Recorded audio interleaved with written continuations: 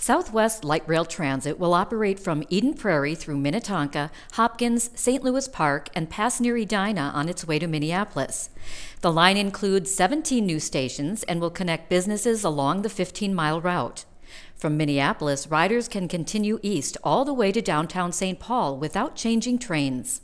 The Southwest LRT corridor employs 210,000 people with 60,000 new jobs forecasted by 2030. This video shows the preliminary Southwest LRT alignment. Changes are expected as a result of engineering and additional engagement with the public, businesses, and local government.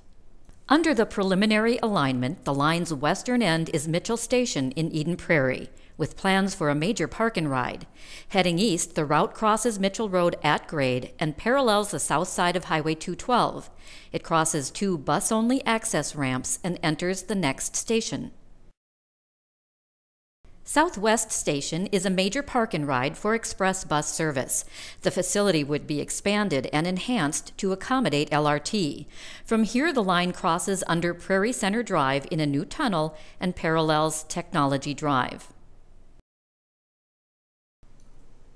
Under preliminary plans, Eden Prairie Town Center Station is about a mile northwest of the Eden Prairie Center Mall. Leaving the station, the line will cross to the north side of Technology Drive and pass over I 494, Flying Cloud Drive, and Viking Drive on a new bridge. From the east side of Flying Cloud Drive, the preliminary alignment proceeds north across Prairie Center Drive at grade before running parallel to Highway 212. Entering the Golden Triangle, the workplace of some 20,000 people, the line crosses Flying Cloud Drive again at Nine Mile Creek. The alignment now enters one of the largest employment centers in the metro area.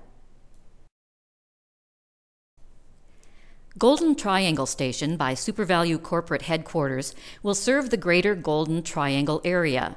This station area has strong potential for additional job growth and housing opportunities through redevelopment. From here, the line would proceed north, cross under Flying Cloud Drive and Shady Oak Road in a new tunnel, then run parallel to Highway 212 and ultimately cross over 212 on a new bridge south of Highway 62 on the approach to the next station. City West Station is where UnitedHealth Group is building a new office campus for 6,600 employees. The development includes more than a million square feet of office space.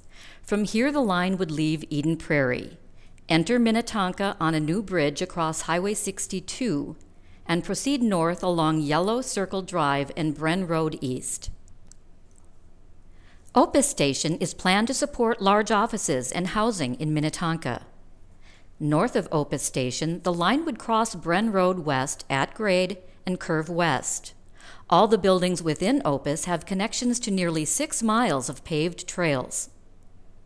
From here, the alignment curves north and crosses Smetana Road at grade. Traveling due north, the line would pass over wetlands and active Canadian Pacific freight tracks on a 3,000 foot long bridge. It would cross K-Tel Drive at grade and turn northeast onto railroad right of way owned by Hennepin County and enter Hopkins. Plans for Shady Oak Station include a large park and ride facility, major redevelopment with new roads, and keeping the bike trail to downtown Minneapolis. From the station, the line begins to head northeast along dedicated right of way owned by the Hennepin County Regional Railroad Authority. Leaving Shady Oak, the line crosses 11th Avenue at grade. Hopkins Station will serve the Main Street District in downtown Hopkins. Plans call for a pedestrian friendly connection between Main Street and Hopkins Station. Heading east, the line crosses Fifth Avenue at grade and travels under Highway 169. This is where the line begins running parallel to the active Canadian Pacific Bass Lake Spur before traveling over Excelsior Boulevard on a new bridge. The new Cargill corporate campus here, together with a SuperValu distribution center, employ about 5,000 people. Blake Station is envisioned as a center for jobs and housing. The Blake School is about a half mile south, with enhanced connections proposed to Minnehaha Creek and existing parks and trails. Heading east, the line crosses Blake Road at grade. Here, near the cold storage site, there are plans to restore creek shoreline and create redevelopment opportunities.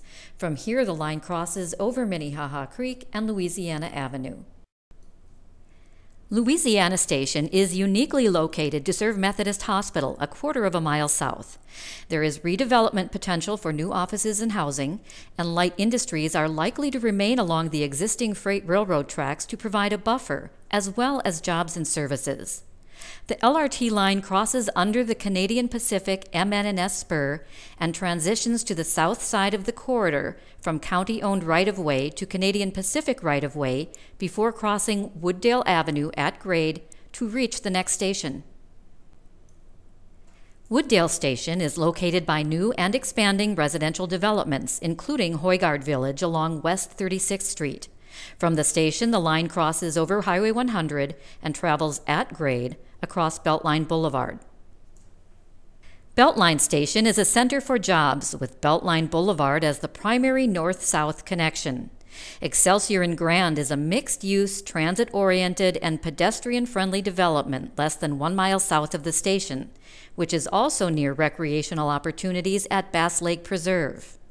East of the station, the line curves north, leaving St. Louis Park. West Lake Station in Minneapolis will offer connections to frequent bus service, the Midtown Greenway Trail, and nearby shopping. There's also potential here for a station for the Midtown Corridor Transitway, which is being studied. This would enhance connections to major employers, commercial activity, and other transit services, including Bus Rapid Transit on I 35 and Hiawatha LRT. Heading east, the line crosses under West Lake Street. The line continues over Cedar Lake Parkway on a new bridge. It proceeds over Lake of the Isles and travels under Burnham Road. 21st Street Station is next to Cedar Lake in a neighborhood of single family homes. Heading east, the line crosses West 21st Street at grade. Two regional trails come together as the line approaches the next station, creating opportunities for bikers and walkers to climb aboard. Penn Station is between Bryn Mawr and Kenwood neighborhoods. At Penn Station, the LRT line meets and begins to parallel the BNSF Wayzata subdivision freight line. Heading east, the line crosses under I 394. Here, the Bassett Creek Valley Master Plan envisions the Linden Yards redevelopment with a mix of uses, office space, and an average of 225 jobs per acre. Van White Station will be located beneath the Van White Memorial Boulevard Bridge being built by the City of Minneapolis. Heading east, the line crosses over the BNSF Wayzata subdivision on a new bridge and then under I 94 and Glenwood Avenue before leaving the corridor, which is owned by the Hennepin County Railroad Authority, and crossing Holden Street at grade. Royalston Station will serve the Minneapolis Farmers Market and adjoining area. Leaving Royalston, the line crosses under 7th Street in a new tunnel and turns east to parallel 6th Avenue North. Hennepin County will soon build a new multimodal transportation facility, the Interchange, where light rail and commuter trains, buses, automobiles, bicyclists, and pedestrians converge. The facility will include storage track for light rail vehicles, a new light rail platform, and new pedestrian plazas. From here, people can transfer to the Northstar commuter rail line to go north, or major bus routes, and in the future, other transitway and rail lines. At all downtown Minneapolis stations, riders have the option of transferring to the Hiawatha LRT Blue Line to go to the airport and Mall of America, or to local bus routes such as those along Nicollet Mall. The Southwest LRT Green Line will continue so that passengers can stay on the train through downtown Minneapolis, the University of Minnesota, University Avenue, the state capitol, downtown St. Paul, and all the way to Union Depot. Through 2013, the stations and alignment will be designed in greater detail.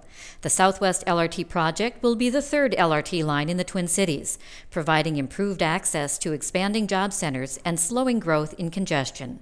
Project funders include the Federal Transit Administration, Counties Transit Improvement Board, State of Minnesota, and Hennepin County Regional Railroad Authority. For more information, visit www.swlrt.org.